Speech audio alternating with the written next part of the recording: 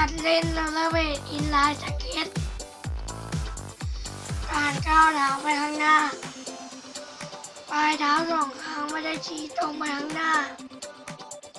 เหมือนกับการเดินปกติ แต่ชี้ออกจากการเป็นตัว V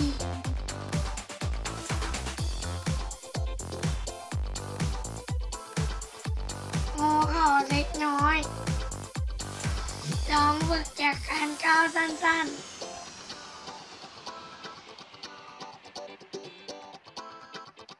ให้รู้สึกว่าน้ำหนักลงที่กลางล้อค่อนเข้ามาทางด้านใน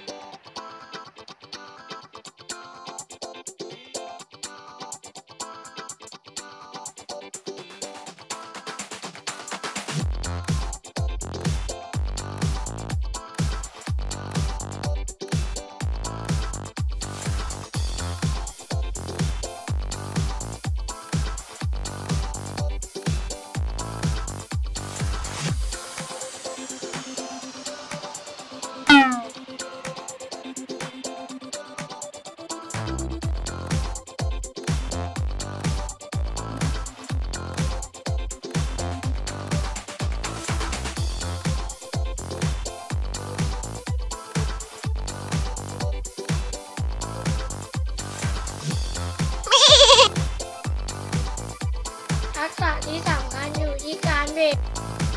เท้าที่ทำหน้าที่เบรกจะตั้งฉากกับเท้าอีกข้างเหมือนรูปตัวทีนั่นเอง จะใช้เท้าซ้ายหรือเท้าขวาเป็นตัวเบรก